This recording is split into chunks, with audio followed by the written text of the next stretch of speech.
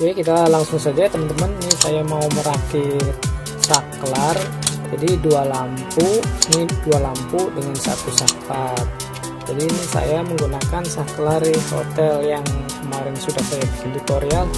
Dan saya mau mencoba ini ya untuk satu saklar buat dua lampu untuk menyalakan secara bergantian. Eh, sekiranya ini di tekan yang nyala sebelah sini. Kalau yang sini tekan nyalanya sebelah sini. Ini caranya sangat mudah sekali seperti masang saklar single ya teman-teman.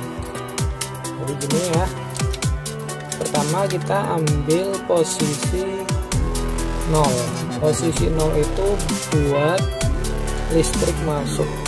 Oke, saya masukin ya. Ini posisi buat listriknya listrik utama. Saya memakai ini saat apa ini yang nomor satu. Ini sudah saya masukin. Dan satu lagi untuk lampu keduanya. Oke begini ya. Setelah ini sudah terpasang semuanya ya kita mau pasang ke lampunya yang ini sambung ke, sini ya. Oke ini sudah tersambung. Yang satu lagi ke lampu kedua. Oke. Ini sudah tersambung ya. Ini biar kelihatan ini. Saya rapihin jadi posisinya begini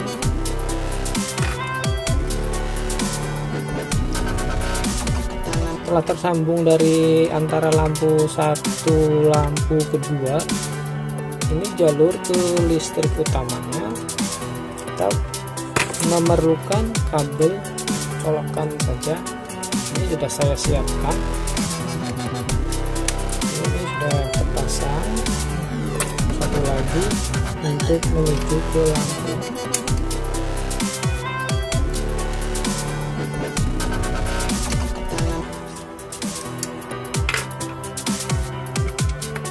Ya jadi ini posisinya begini.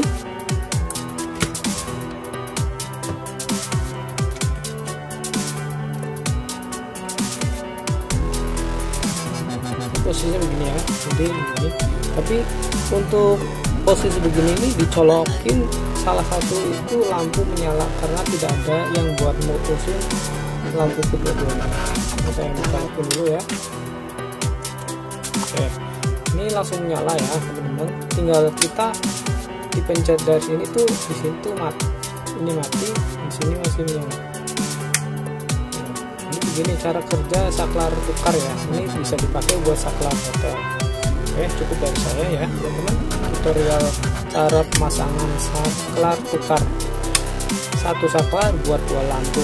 Misalkan kamar kita pasang lampu yang sini terang dan sini yang redup ini bisa kalau mau tidur tuh bisa dialihkan secara bergantian